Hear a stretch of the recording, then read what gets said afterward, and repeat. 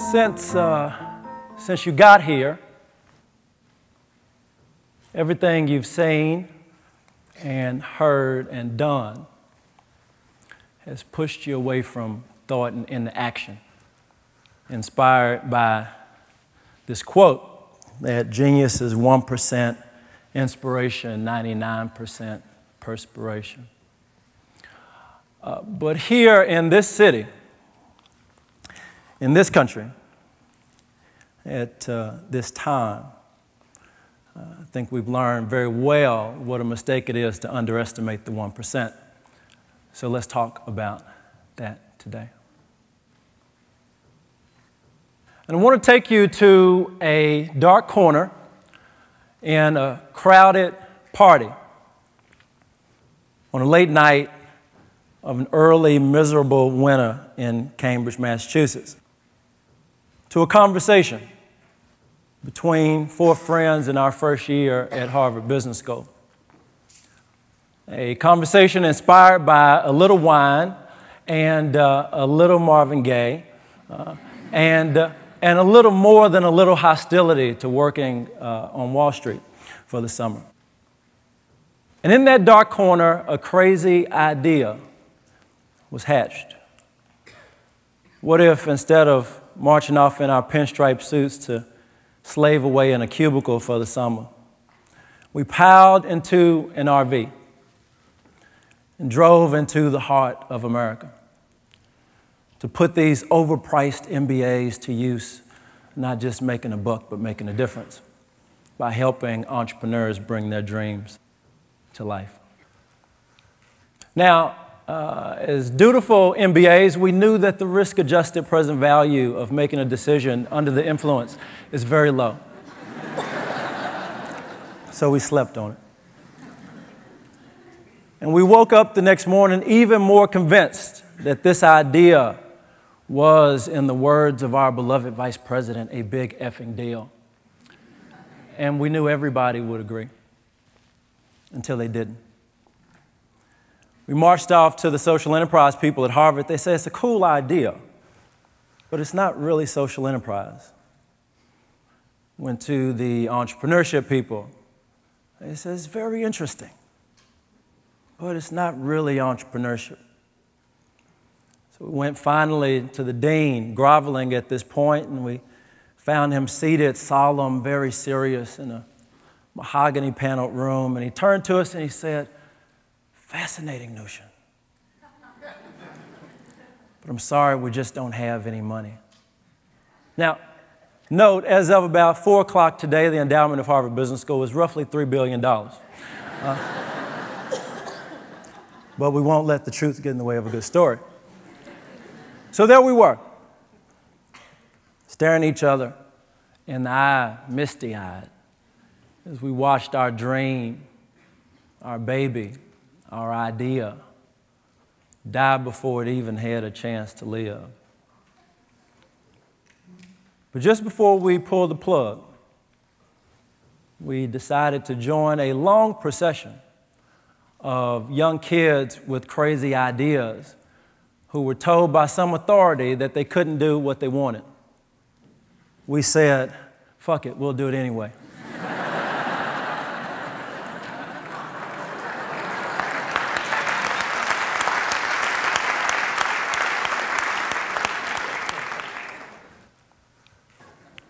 Can't go back to Texas after making this slide. so we crowdfunded. $13,000 from friends and strangers. The lady even sent us 15 pounds of cookies, which was very helpful uh, while we were out on the road. Uh, we couldn't afford an RV anymore, so we drove our two cars and we named one of them R and the other one V so we could tell the press that we had an RV. and it worked. We gave up our dream of staying at the St. Regis and uh, instead decided to camp in a cow pasture in rural Montana when we got there. And along the way, we learned the first rule in the new playbook for change that I'd like to share with you today that the hierarchy is dead.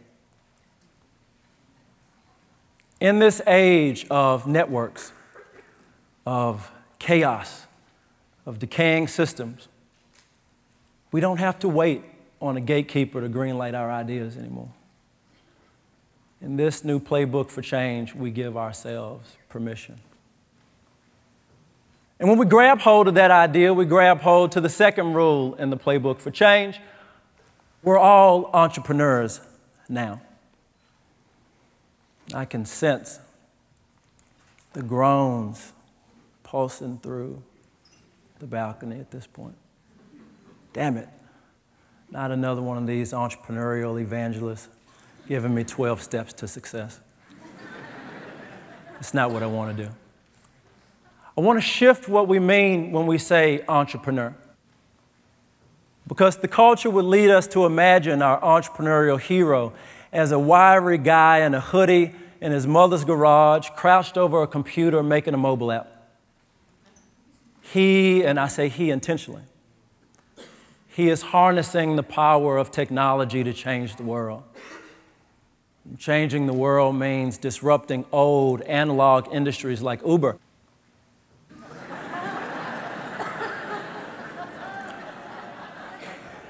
or creating new industries altogether like SpaceX. Or making the lives of the time crunched a little less crunchy, like the great new startup Alfred that will provide you with your own personal butler that will clean your house and do your laundry and stock your groceries, all for the low price of $99 a month. Now, some of us would admit to wanting a personal butler.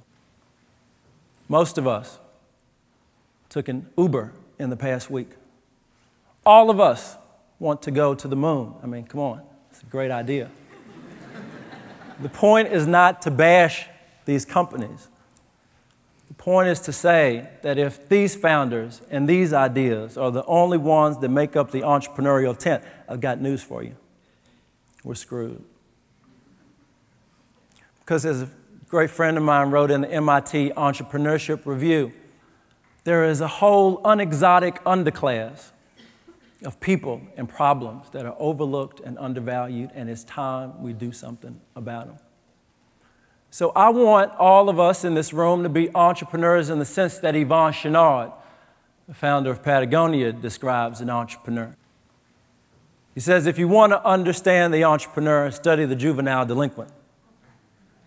The delinquent is saying with his behavior, this sucks. I'm going to do my own thing. You feel that? Hmm?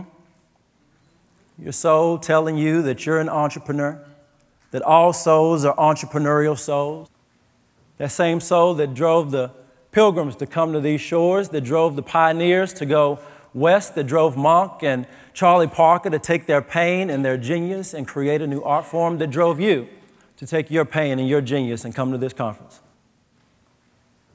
And since you got here, you have been given the best tools to make ideas happen you know the how and the what like the back of your hand.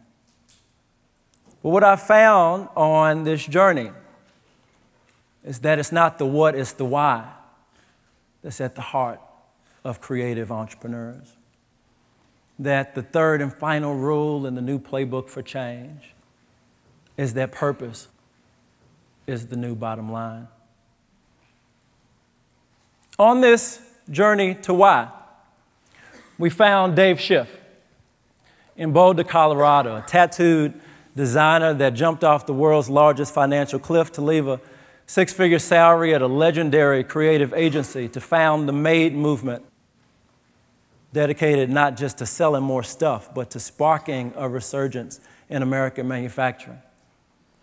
Dave said he knew he couldn't be the one that made things, but he could help the people who made things. And he gave us this bit of wisdom that shapes the very essence of our organization. He said there's no line item on a balance sheet for give a damn, but it's the most valuable thing you've got in the business. And he was right. On the journey to why, we met Sarah Calhoun in White Sulphur Springs, Montana, population 900. White Sulphur Springs has gravel roads. They have one theater that shows one movie on one day a week. But that didn't stop Sarah from launching Red Ants Pants, a brand of workwear for women who do really serious stuff, like putting out forest fires and tending the cattle ranches. And I said, Sarah, why do you do this? She said, because when a woman puts on a pair of our pants, she's not just putting on canvas, she's putting on a new identity, an identity that makes her feel more badass. It's a hell of a why. On the journey to why,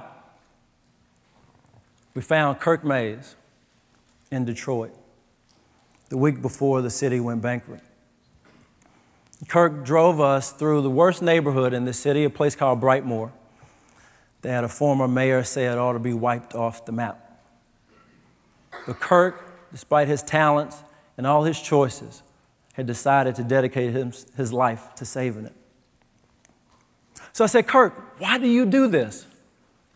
And he stopped us right in the middle of the street.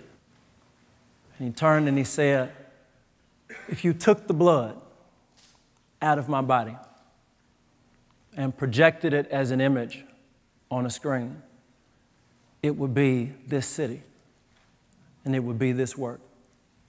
So I couldn't stop it if I tried.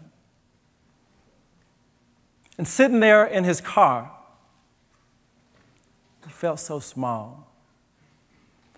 And those words brought tears to my eyes, they brought a fire to my belly, because I had also been on my own journey to why. Yes, this is the most egotistical slide in the history of man.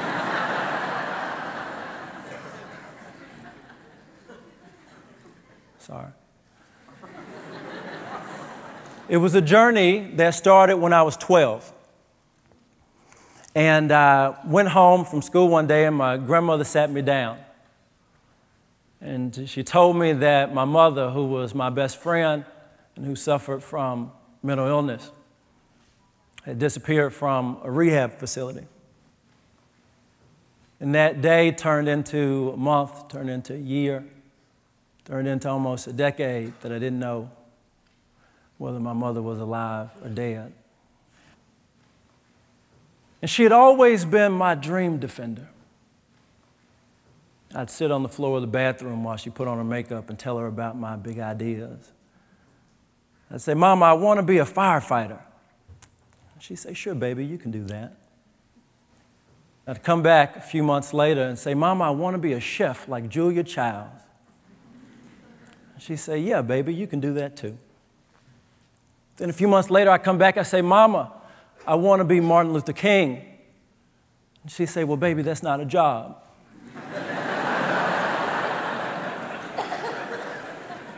but I'm sure you can do it. And when she left, she took my dreams right on with her.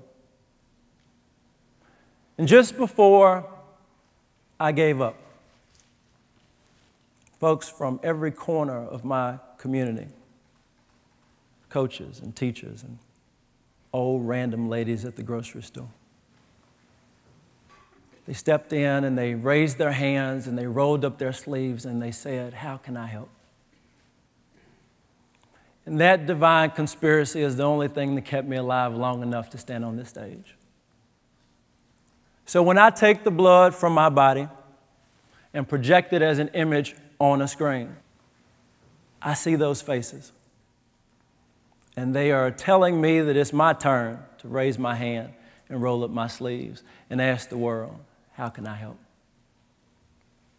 And that's what took me to MBAs across America. And more importantly, that's what brought me here today. Because I think I have an answer.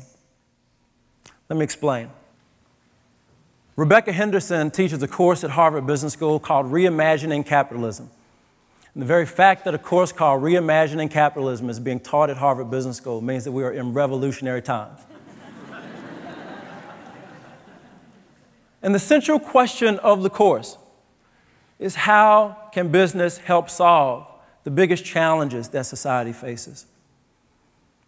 Professor Henderson breaks all action into two circles. One circle represents all the things that make money.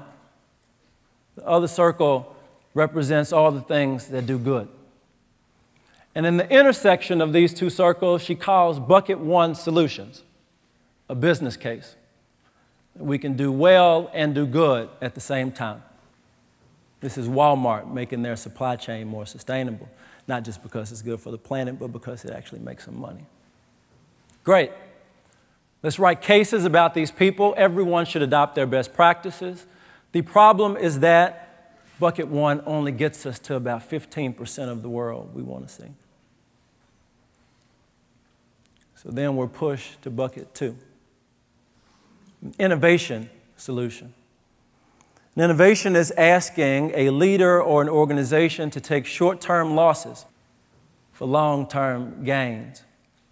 This is Paul Polman at Unilever. This is Elon Musk at Tesla. Folks who say, I'll take the risk, I'll take the lead because I'm betting on the future. Love these people. Let's honor them. Let's highlight their work. Let's hope that it inspires someone else to do the same. The only challenge is that even bucket two only gets us to 60% of the world we want to see. So, Professor Henderson studied the entire history of modern capitalist civilization to see how we got to the rest of the way. And what she found was very alarming She said the only time we got to bucket three solutions, whether it was ending child labor in England or ending slavery in the United States, was when there was a social awakening. Get that? A social awakening. So I said, Well, Professor Henderson, how exactly does one spark a social awakening? And she said something that no Harvard professor has ever uttered. She said, I don't know.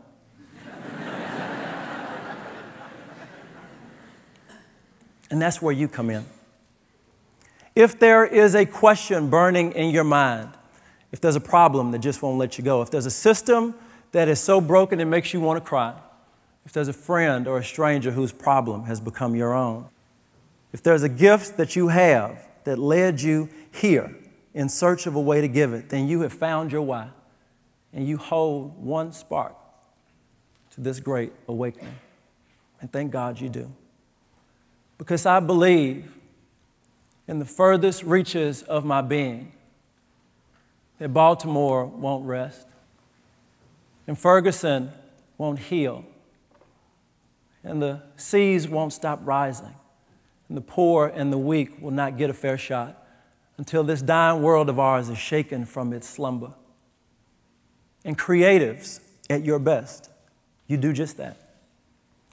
You wake us up, you lift our eyes and our spirits and our creative consciousness to a horizon of hope that in too many places of this country and around the world seems far too out of view. I believe that horizon is there.